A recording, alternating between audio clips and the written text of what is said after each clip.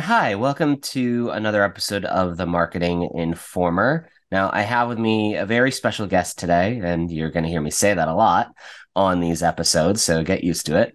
Um, once again, for those who are just joining us, I am Matt Delman. I am the Director of Marketing here at TechStrong Group, and this is the Marketing Informer. With me today is Mark Hinkle, the founder and CEO of Peripety Labs. That probably said that incorrectly. Um, but Mark, before we get started, um, give us a brief introduction and of you. Who are you? What do you do? How did you get here? Essentially. Okay. Well, I am a masochistic recovering tech executive who just got done um, as a CEO of a venture backed cloud native integration platform called TriggerMesh. And today I am the CEO of a digital consultancy called Peripety Labs.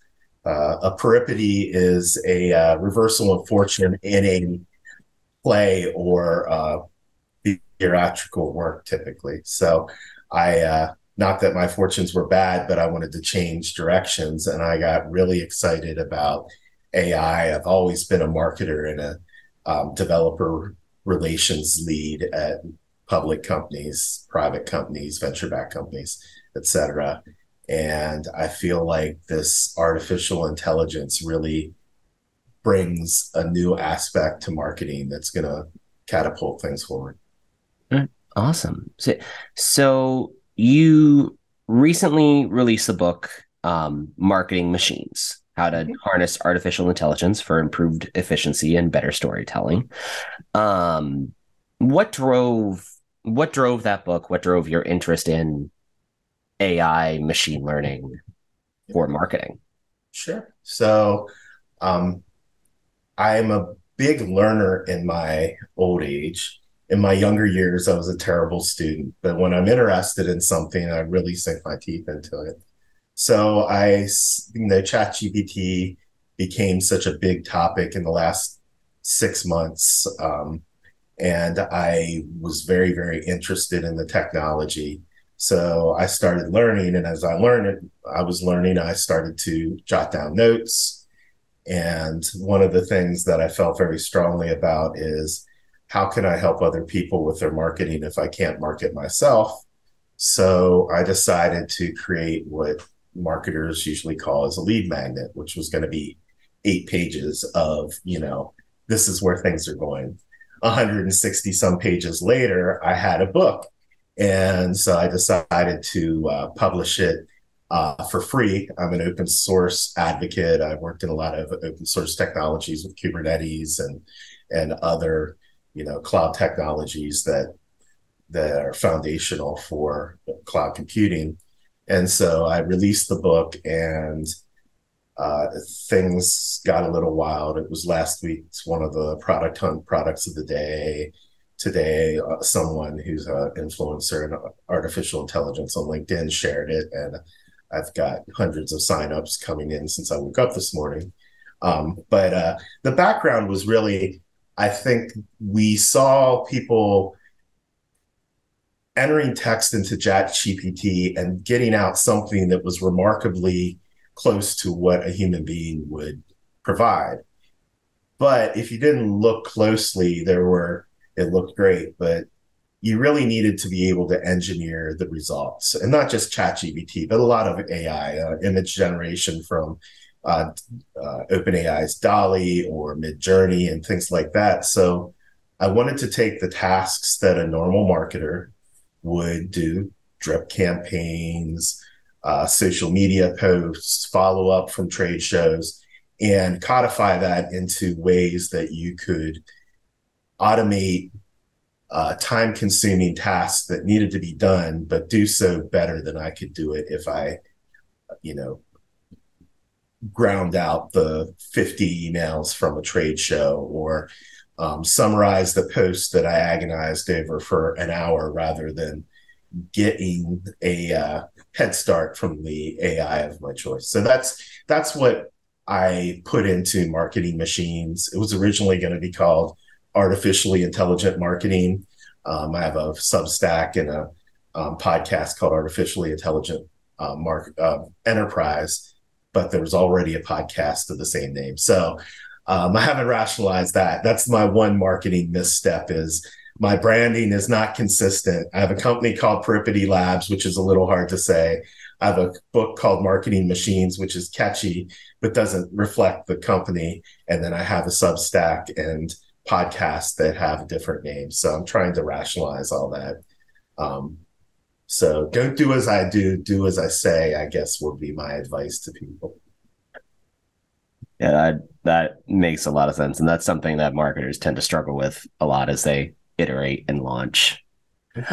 Um so one of the things that I see a lot on LinkedIn is like all of those um the people saying, "Oh, everyone's using ChatGPT," but they're all kind of using it wrong, and like this constant thread of like the best prompts to get to get to your actual job.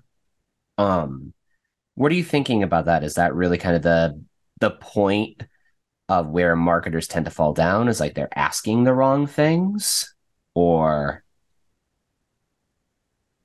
I think prompt in general and the term the the new hot job title is prompt engineers so and the the task is prompt engineering. I think that there is very there's a very big similarity between the way programmers program code and people should be or will be interacting with um, artificial intelligence. I just think that the the difference is that we're using natural language rather than structured language like Python or Java or Go or something like that. So it's not necessarily that people are doing it wrong, but just like uh, code, there's a lot of difference between 10 lines of code that does the same thing as 100 lines of code. I think the same thing comes from prompting. You, a lot of people have to iterate on their prompts rather than getting the uh, result that they want on their first go round. And that's a combination of understanding how to uh, construct the interaction and to feed it enough information to get a good result. So the old there's an old IBM programming adage: uh, garbage in, garbage out. Uh, same thing works for you know artificial intelligence. If you don't put a clearly defined prompt in, you're going to get probably something that you didn't intend. Yeah, it's almost like um, when I was in high school in the early 2000s, you know, we were being taught like Boolean logic for Google search. Right. Is that kind of similarly we need to start like educating people in like that sort of vein for how to use these new AI generation tools? Yeah. Yeah. I mean, there's a syntax that works for, you know, I was, I write my blog headers using or create the images using uh, Midjourney, which is a text to image generation. But rather than if then greater than, there are different ways that you construct the prompt and provide weights to, you know, if I want a picture of a recovering tech CEO in a office with pictures behind them in a red rocket, I want to make sure that they're equally weighted, or else I might just get, uh, you know, an ex tech CEO in a hospital bed and the rocket is in the background in the window. So you, you really have to understand the expectations of the AI. I think that over time, there will be more of a, a the models will get trained based on input and they will evolve to provide you know outputs that are closer to natural language but today it's sort of this weird Frankenstein of communication between our natural language, whether it's English for you and I or you know French for people in France, etc., and then sort of these parameters that that are um, you know ChatGPT is the most um, is the best at just nat- natural language processing, and part of it's because in two months they had 100 million users who thought that they were getting stuff out, but they were also helping to train the model.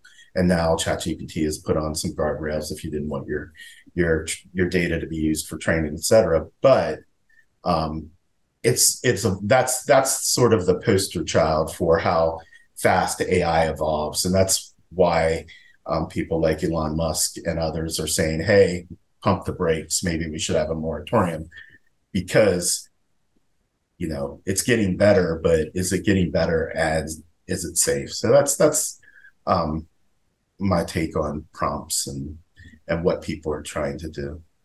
That actually kind of leads into an interesting question about the ethics of AI and the um, the biases inherent in some of this machine learn in some of the machine learning algorithms. Um, now that's kind of this well-known thing among AI and machine learning, even in data science. You know, mm-hmm. like your algorithm is only as good as your training data. So right. For when marketers are using these AI tools, like what are the sort of ethics that they need to be concerned about? Or maybe like top hit ethics, because obviously this hoping this is an entire other topic of a different yeah. podcast. But I mean, I think that the first is um, you should you should probably disclose if you've used AI. I mean, pretty much everything that I use and produce has some aspect of AI, and I'm pretty clear about that. But also the ability, you really have to become more of an editor and more of a fact checker than a writer, I think, with it. So eventually you'll it'll be less and less important. But today I think that's really important. Um, the other thing is you got to consider that the source of the training data. So ChatGPT um, hasn't disclosed all the ways that they got training data, but they let's just say it's probably a representative sample of information on the internet. And we know that everybody on the internet has an opinion, and you know, half of us are right and half of us are wrong, and you've got to take that into consideration. But I think think in the long term, what will happen is that marketers will have their own repositories and sources of truth. So I think the idea of models, large language models like ChatGPT, will also be customizable models. Like um, Hugging Face is a is a company that distributes, you know, these mod these natural language processing and other models that that allow you to train it in your brand voice, train it with your own data, um, I think that will help with marketers in the long term. In the short term, I, I mean, I use something called AutoGPT, which is a um, iterative, um, uh, autonomous intelligent, uh, art- autonomous artificial intelligent agent. And what it does is it basically strings together prompts. And I've connected that to a vector database, which is sort of persistent memory. And over time, that that database um, gets built up um, with with information that's relevant to me. So then I feel a little bit better. But today is sort of like the Wild West. You know, we're all out there on the plains. You know, trying to figure out where the best place to settle is, and I think that that we're slowly moving farther and farther west, and eventually we'll settle and get, you know, technologies and understanding and um, identify vendors that have appropriate guardrails for this kind of thing, and it, will be fine. But for now, proofread, fact check, and don't assume that these things that are coming out of this black box of an artificial intelligence are 100% correct, um, especially if it's after like ChatGPT has only been trained on data through 2021, so or 20, yeah, I think 2021 September. So um, if you ask ChatGPT today, uh, tell me about Silicon Valley Bank, I'm assuming I'm pretty sure it still says Silicon Valley Bank is a, a is a valid growing concern versus the meltdown it had um, in the last month or two. So that's that's that's the kind of thing where it's not quite as as uh, that would be my caution is if you want up to date information, there's some interesting things going on with Bing, uh, Microsoft's chat um, chatbot uh, search engine combo because it can be informed by searches and you know some of the plugins with ChatGPT if you have plugin access will allow you to get browsing information that's current to inform the model. But until then, check, double check, triple check, and um, be sure of the facts. Yeah. Kind of like the whole thing of um, the running joke of just because it's on the internet doesn't mean it's true. So I wrote a blog post today where um, I was going to use a quote from what, who I thought was Charles Darwin, and it's actually been a misappropriated quote for almost 70 years that says it's from the origin of species. And what I did was attribute the quote to a mistyped quote from a presentation in 1963 because but it's been on the internet and if you did a search for you know evolution or evolve or die you would find this quote all over the place and it's not there's no evidence that he ever said that yeah that's um there's a few different quotes like that like the um the one I started off in journalism, so Mark Twain, Samuel Clemens is a personal hero. Yeah. The whole thing, if I had a different if I had more time, I would have written a shorter letter. He didn't actually say that. Blaise Pascal said that. it's just always attributed to Mark Twain. Yeah, he uh, uh they attribute uh lies, damn lies, and statistics mm-hmm. to Twain, and it was actually Benjamin Disraeli, the Prime Minister of the UK, who said it. And Twain repeated it, I guess, somewhere, but it was not his quote. But yeah. some searches, you'll find find that that quote everywhere. Yeah, do some searches, do your research. Um, so we mentioned a few different things like drip campaigns, social media posts. Where should marketers realistically in the future be looking to apply AI tools in like the most direct way? Is that going to be something like it's repetitive tasks that you know you have to do? Yeah, I think that you're going to look, you're going to have to look at the thing, the way that you spend your time and look at the things where your individual creativity and talents add the most value in the places where they don't and are also very time consuming. So, you know, drip campaigns are probably one of those things where I spent a lot of time coming up with the sequences, but really what I needed to do was just get that call to action down and then let, you know, I can let my AI email writer do the do the you know heavy lifting and if I've informed it of what where to get the white paper, where to download the software, whatever my call to action is, it's actually pretty good. And sometimes it's even more creative, which is a misnomer. The way uh, AI works is really it's doing the probabilities of the next word in a sentence. And these probability, it's a probability engine. It has an algorithm, but to make it seem more human, there is a little bit of randomness. So it may not always pick the highest probability next word, and that's why it gets a little creative, but it does stay in the ballpark. So those kind of things uh, drip campaigns, rephrasing content. Sometimes I know what I want to say, but the way I say it is very much a it's boring, and I think that that's I mean there's no way around it. Is it's very much Joe Friday, just the facts, and I find that